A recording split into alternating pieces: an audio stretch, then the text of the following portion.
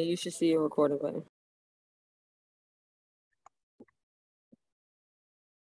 This is Jeff Breedlove with the Georgia Council for Recovery. It is Friday afternoon, St. Patrick's Day, and I'm with Kim Jones, Executive Director of NAMI Georgia, and she is also uh, our lead of, of a co- the, the lead member of the coalition of the Mental Health Policy Partnership. And Kim, it's been an active Friday here. We haven't had a chance to really go enjoy the green because we've been working on the green and purple of behavioral health with um, members of the Senate all morning long, members of the House all morning long.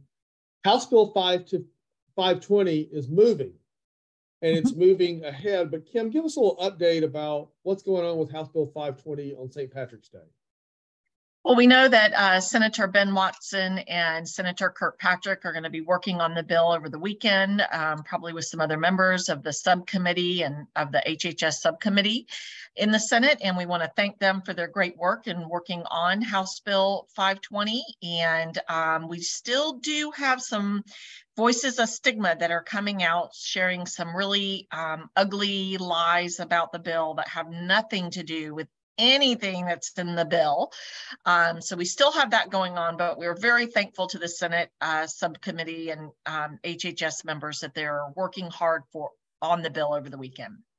Absolutely. And speaking of those voices of stigma, it's important the Senate hear the truth. And so there's a very special day of advocacy on Monday, March 20th.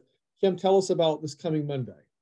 Yeah, we're asking all of our mental health and recovery advocates to come out with us on Monday. Uh, that is uh, March 20th at 9 a.m. to 3 p.m. There will be an HHS committee meeting at 2 p.m.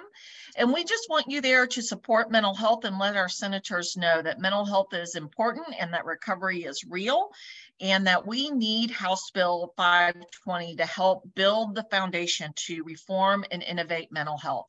And so we're asking um, all of the people that we know who support mental health and can help us um, in this fight to have House Bill 520 passed to join us on Monday, 9 a.m. down at the Capitol uh, South Wing Stairs. And you know, if you can't be there right at nine, get there anytime between nine and two meet over at the south steps, which are inside the Capitol on the second floor. And there'll be somebody there with our coalition looking for volunteers.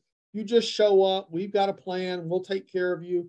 We got everything you would need, whether you can stay for 10 minutes or the entire time. Every little bit will help, I promise you. So that's Monday, March 20th. We're going to speak up, speak out, and be loud and proud for behavioral health, mental health, substance use disorder recovery, House Bill 520. You know, Kim, I think that your point was so well taken. You know, I know that it's taken a long time to get to where we want to be, but this is democracy in action.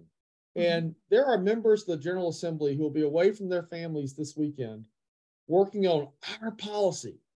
We're going to win, but we, we're only going to win if we speak up, speak out, and, and show up to the Capitol on Monday, the 20th. By the way, all over the weekend on NAMI's pages and on the Georgia Council for Recovery's pages on social media will be post about 520 about coming to the Capitol with the link. So please share the post you see from either NAMI or the Georgia Council for Recovery over the weekend and bring five, bring 10, bring 15 people with you. And let's mm-hmm. let everybody know that Georgia supports a peer policy House Bill 520. And Kim, why do we support a peer policy House Bill 520?